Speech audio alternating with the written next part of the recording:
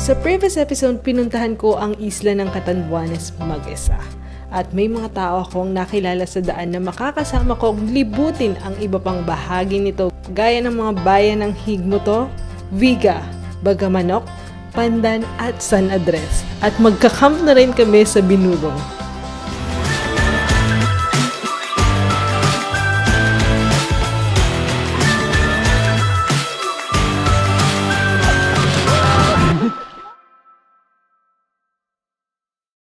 Habang nakatambay dito sa dagat, may nag-message sa akin yung pala naka-recognize sa akin na Czar, is that you? So yun, in-invite ko sila, baka gusto niyo sumama sa akin going to Viga from Paras. Yung mga dadaanan ko ata dito is wala masyadong tao. So I think kakailanganin ko na kasabay sa ride ito. Nag-ride out ako ng 8 a.m. Pak, pak, pak, pak na naman tayo. 2 hours talaga yung pagpapak ko eh. And, um, dito na-meet ko si Jeff tsaka si Ken at sinabayan nila ako. Let's bike and wonder.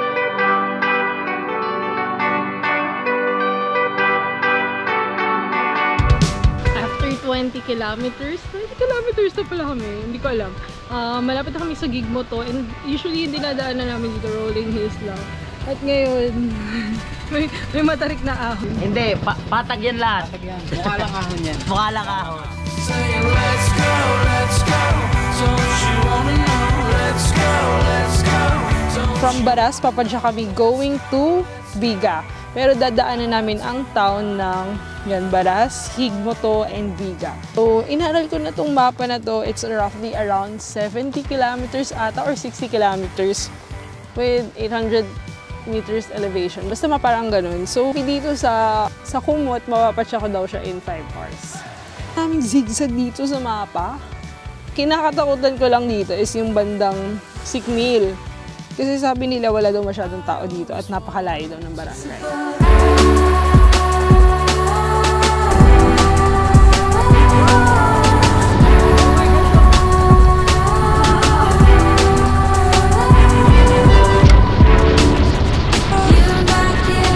From Puraran going to Higmoto, medyo banayad lang naman yung mga nadaanan namin at dito marami pang tindahan at kabahayan around.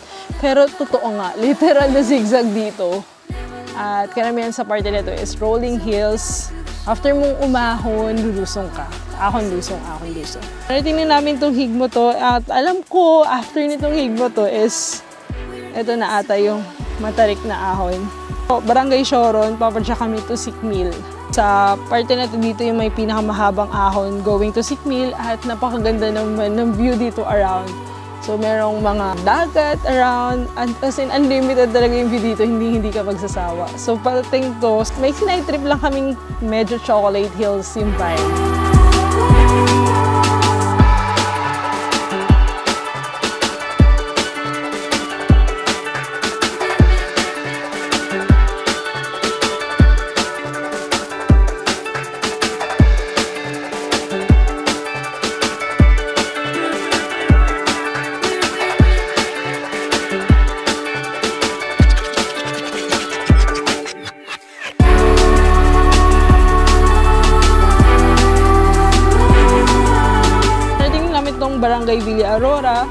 Tapos Botinagan, Bongon Beach, and then Ahon Dusong usually. Grabe to. Grabe ka, Katanduanes. Eh, mawawala yung pagod mo dito sa Katanduanes. may mga tindahan na dito around, so mapapa food trip talaga kayo, only soft drink. Eh, may halo-halo pala dito. Ayan, ito na yung kalaban ko araw. Pag lumulusong talaga, ano eh, parang ang saya mag-vibe. Tapos pag umaahon, naisip ko, parang sana pala hindi na lang mabigat yung karga ko. Make sure kung papatsakay dito is marami kayong water. Viva! Viga! na finally nakarating na sa Viga. So hindi ko alam kung ilang km basta laspag ako. Meet ko dito yung isang kasama nilang biker. Inatid nila ako hanggang Viga. Dito sa Viga sa H2O. So yeah.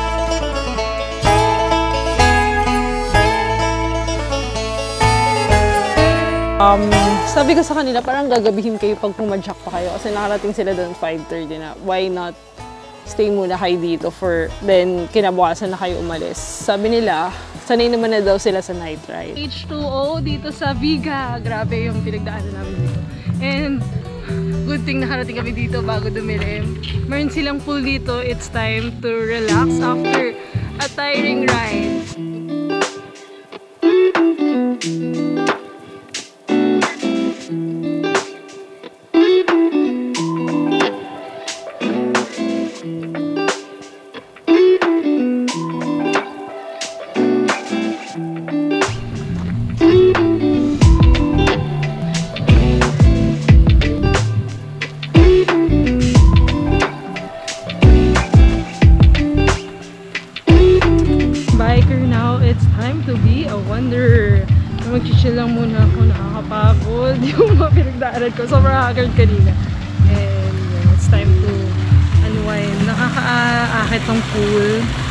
Then mag-swimming lang muna ako.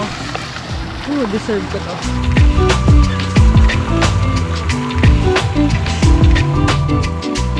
Yeah, welcome to H2O. Dito po pero ganyan sa Dry acid. dry acid. Kinuhaan ko. Bilang kalad ka rin sila, ginawa nila is pumadyak sila going to Virac. Tapos, babalik daw sila after. Hello! Like, Ba't kayo nandito? kasi pinuntahan ka namin, tapos umulan, nagsakripisyo. Para masamahan ka namin bukas. Tapos, Grabe! Oo. Tsaka, um, siyempre, gagawin namin lahat. Para sa iyo. Ah, ano, maramdaman mo na welcome na welcome ka po dito sa aming isla. I love to wake up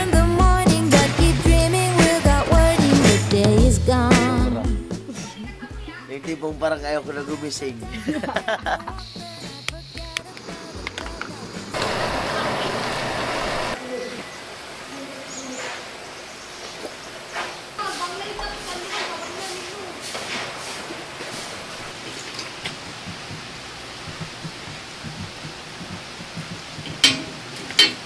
Morning!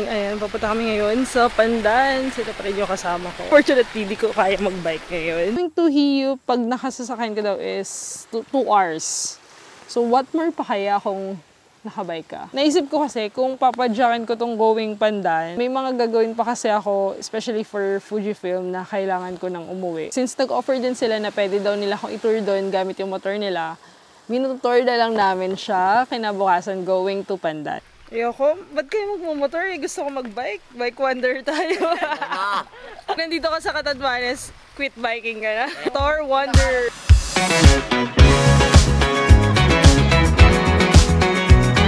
Dito daw sa parte ng Bagamanok to Pandan, yung pinaka matarik na ahos, dito ka iiyak ng todo.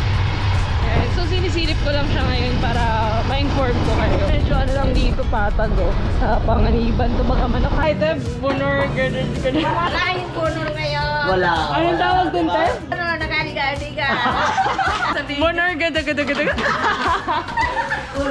Kami sa Bagamanok, hindi na daw makikita yung most sexy in the Philippines. Actually, dito sa Bagamanok, may falls daw na napakaganda dito. Itong Nahulugan Falls, which is hindi ko na pinuntahan dahil kulang tayo sa time.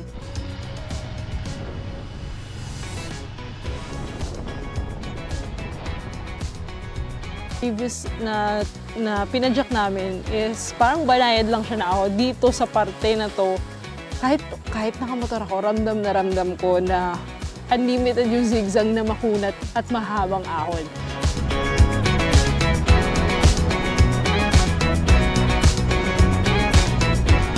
Siya padyakin kung may kasama ka. Pero kung solo ka, mm, medyo I'm not recommending it. Wala masyadong kabahayan at literal na zigzag yung dadaanan nyo. Pero syempre may mga ocean views around. Yun, narating na namin tong Hiyup Highlands Vista. Pinaka-favorite part ko is yung sa bandang Balakay na landscape and then next is itong bandang Pandan. Then next is yung sa bandang Sikmil, maganda yung view doon around. And itong Pandan side, ang ganda ng landscape dito. Sayang nga lang hindi ko siya binike. Pero okay na rin, bike wonder pa rin naman yung motor, di ba?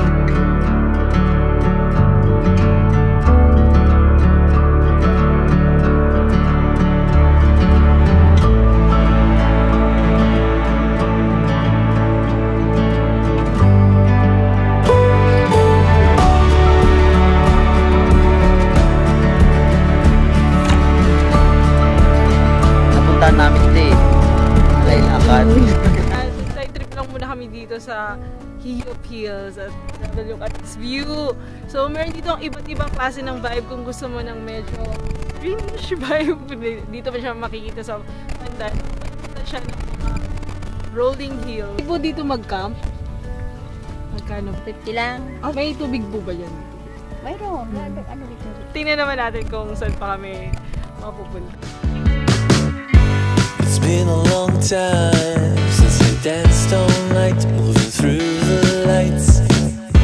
It's been a long time. Wanna take you out, we can make it right. Don't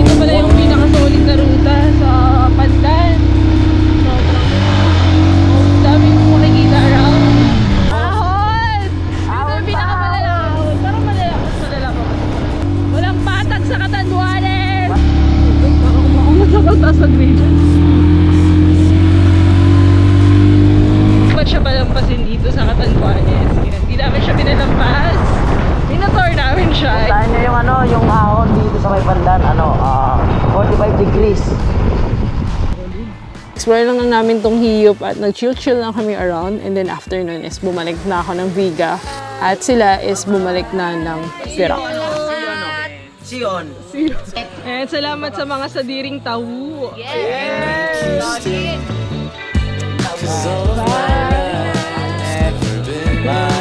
you've been my Dito na ulit ako sa Viga sa H2O.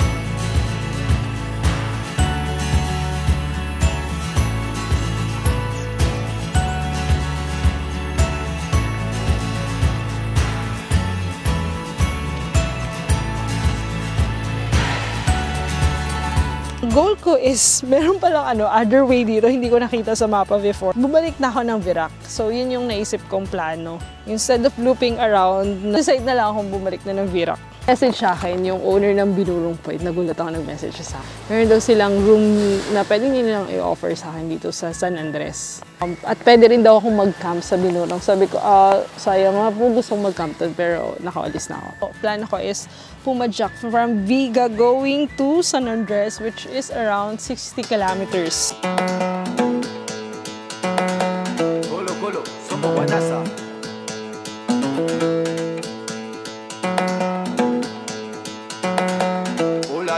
Baba.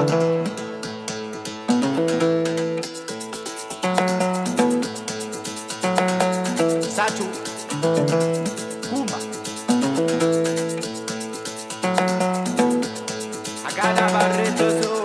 From Viga ay papadyak ako going to San Andres ang nasa gitna ng mapa. Pero dito is more on forest vibe. Lately ko lang nag-sink in na kaya pala wala ng dagat kasi nasa gitna nga pala ako ng isla. So dito is literal na zigzag. Ulit yung dadaanan natin. At meron sila sinasabi dito sa akin ng summit. May madadaanan daw akong summit. Sabi ko, saan yun? Malalaman ko lang daw kung saan yun kapag umahon na ako. Sabi nila may makunat daw na ahon dito tapos malalaman ko daw na nandun na yung summit. I think ito na nga yun. Ayan, puro sigsag yung dinadaan ko. Tatas ng gradient. Gradient 20. Dito lang sa part na to, may 2 to 3 kilometers, I I think 2 kilometers na naahon going to Barangay Summit. So, napakakunat ng ahon dito at may mga nadaanan lang din akong falls na nakita ko sa kalsada. After nun is lusong na na mahaba. So, parang yun lang naman yung inahon ko na makunat. Tapos lusong na na mahaba, tapos ahon na banayad. Then after nun is more on patag na going to Virac. So, yun, nakarating ako ng around 12 noon sa Virac. Usually, nang dumadaan ako dito sa part na to, nagugulat sila kasi may sumusulpot bigla na babae na maraming karga at sabi, sinisigawan nila ako wow, daming karga, ay, babae, gano'n. So, parang gulat na gulat sila na may, may babaeng nagbabike na solo at maraming karga. Dinededma ko na lang din para hindi man libabaw yung fear nung time na yun. Akala ko nakakatakot. Akala ko siya nakakatakot na magbike dun sa sa zigzag. Pero yun, beforehand kasi is na-train ko na nga yung mind ko, nag-bike ako around. Nang, nag-solo bike ako sa Atimon ng zigzag bago yung ride na to, nag-bike ako sa Sangay, sa Tiwi, which is training na rin going here. Yung prepared ako, hindi ako masyado natakot nung time na to. Akala ko scary siya, lalo na nakamotor ako. Pero it turns out, naman siya nakaka-relax kasi kasama ko yung mga puno. Nakakatuwa kasi kinaya ko siya. Safe yung biyahe ko. After nun is, nagpahinga, gutom na gutom na ako. Bumalik ako dun sa Zachly. And nagulat siya kasi nandun ulit ako. Pilang muna ako dito at kumain ulit ako ng sisig. Meet ko rin ang ilang subscribers ko dito gaya ni Francesca. Isa rin ang production ng abacas ay pinagmamalaki ng isla. May tinitinda din siyang abacamas. Tinagpo ulit ako ni Ken at ni Jeff. At hinatid nila ako going to San Andres.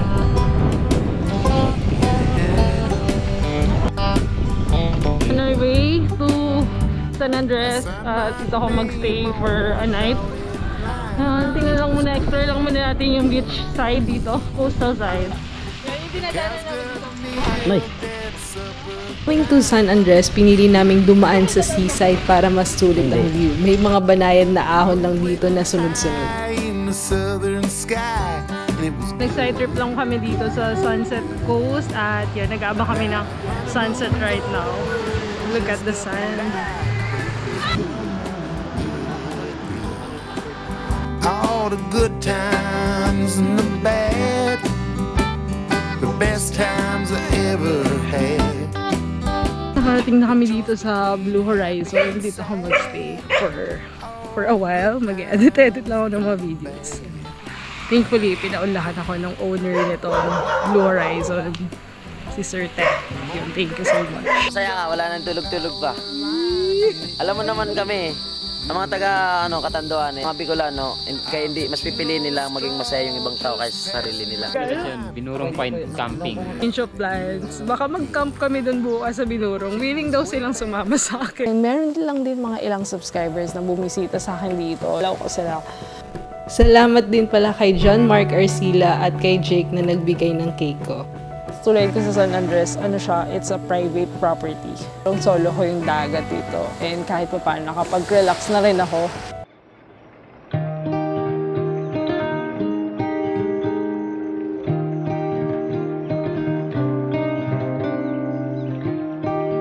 Ito yung gusto ko sa pagsa-solo travel. Meron kang me time. May sarili kang desisyon kung kailan mo gustong gawin ng mga bagay. Kailan mo gusto maligo, kumain, matulog, at walang ibang kokontrol sa oras mo. Mas makakaisip ka pa ng maayos.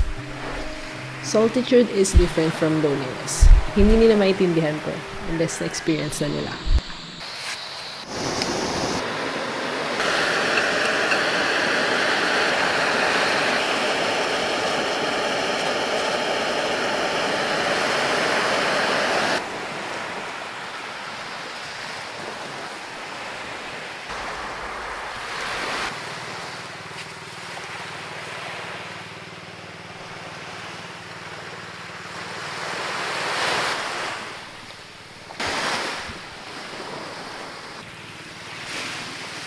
Pero syempre, dahil extrovert ako, hindi ko naman gugustuhin na mag-isa palagi. Na-mention ko sa kanila na yung may-ari nito is may-ari din ng binurong point at inaalaw nila ako mag-camp doon. Ang plano ko is to rest the next day and bike sa isang araw. Pero ang nangyari, feeling daw silang mag-camp at samahan ako sa binurong. Kasi gusto rin nila ma-experience yun. Hello! Ba't kayo nandito? Ulit kami para sa'yo. Before! Before ka ba? Hindi ka pa naman nagsasawa sa mga... Akala ko ba wala ka? Nandito ka! Punta kami ngayon ng binurong para mag-camp. Woo! Papahinga lang dapat ako ngayon eh. Nakatuwa lang kasi sobrang biglaan na random ko lang sila na-meet at nagkasama pa kami dun sa camp sa Binurong. Nabukasan is nag-camp kami sa Binurong. Medyo pahapon na para makapag-rest din at magawa ko din yung mga kailangan kong gawin. Nag-camp na kami sa Binurong. Dito nakasama ko yung kapatid ni Ken. Mountaineer pa siya, nakakatuwa. Bukas na po. Ate, bumalik ako, te. Opo, oo. Thank you, ma'am, sa pagbalik. Dito kami nag-pitch ng tent. Ah, thankfully, pinayagan kami ng owner dito. Sabi niya, dalawa pa lang daw yung nakakapag-camp dito. At inaalaw niya. Miss ko yung sunrise at di ako masyadong nakapag-drone. So, gusto kong balikan talaga tong binurong point. Sabi ko, babalikan ko siya after two years. Then, I'm back! Very nagsisinkin yung pangyayari sa akin na nandito ako sa binurong point. Maabo na! Summer months are coming. I don't know how to take it. The memory of our love. Picture after nun, nagluto-luto lang muna kami ng dinner. Inulad na kami dito sa tent. Nag-socials na kami at nag-chill na kami. Cause May's like Miranda. I could not understand her. Is Nakatawa lang din kasi pumunta ako din sa lugar na to nang wala akong kilala. At day by day may mga namimit akong tao na nagiging kaibigan ko din. So, the more people I meet, the more the more lessons I learned, uh, mas lumalawak yung perspective ko sa isang lugar at sa mga perspective ng tao. From, I'm meeting people from different ages, uh, nakakatuwa lang. namin mag-race sa susunod kasi gusto na namin mag-bike camping. Oh, gusto namin bike packing. Mamimingwit na lang ano, mamimingwit na lang tapos tabi ng i- ano. Yes. Huwag na tayo mag ano, mag-training, wag training. Pagod lang. Pinakauli may 5k oh. Nakaka-relax. Yung pangarap kong campsite, lahat ng kinagkakampan ko usually sa dagat. So, gusto ko talaga mag-camp dito sa bundok. At finally, nagawa ko na siya. Isa na to sa mga lugar na pinaka-best campsite for me. Morning. Gising ko lang. Pero ayun, kanina pa ako nagla-landscape photography. Ngayon, magsa-sunrise shot tayo.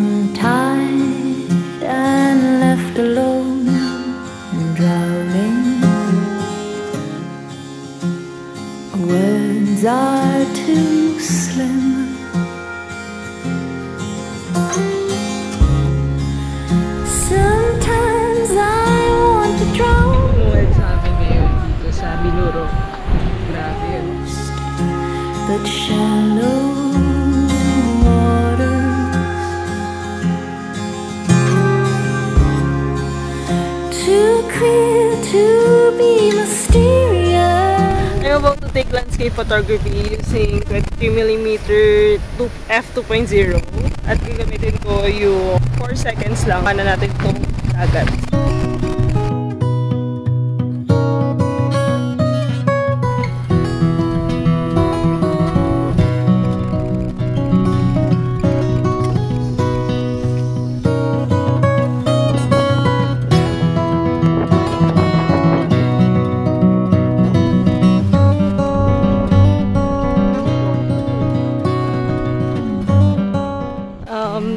Kami dito sa Binurong at ito na rin yung naging highlight ng trip ko dito sa Catanduanes, itong camping sa Binurong and thankfully sinamahan din nila ako. From one of a kind experience na hindi lahat makakagawa nito. So thankfully pinaunlakan kami ng owner dito sa Binurong.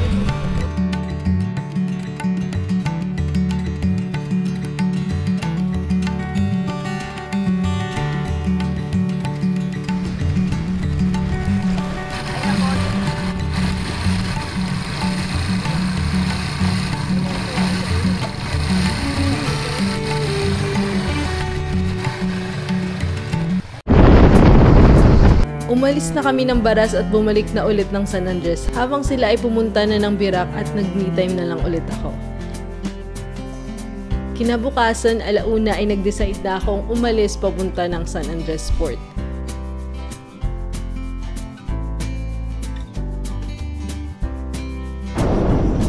Day of adventure. Nakalabas na ako ng beach house at papunta na ako ng Tabaco Port. Oh, goodbye, Catanduanes. Definitely a happy island.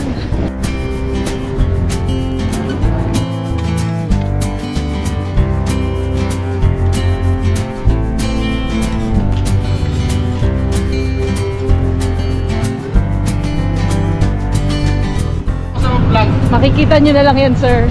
Parang nakita kita kita eh. Sino ako? Ako lang yon. Ito si ano? Chip Sarmiento. Yes, ma'am. Hello. Adong San Roque Port Supervisor the Yes. Reyna Shipping Line.